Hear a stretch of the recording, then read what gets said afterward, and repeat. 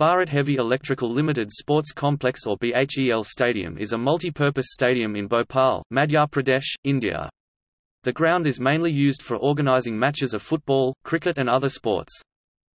The stadium hosted four first-class matches from 1987 when Madhya Pradesh cricket team played against Rajasthan cricket team, until 1994.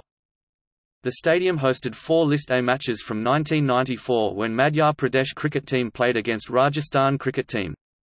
But since then the stadium has hosted non-first-class cricket matches.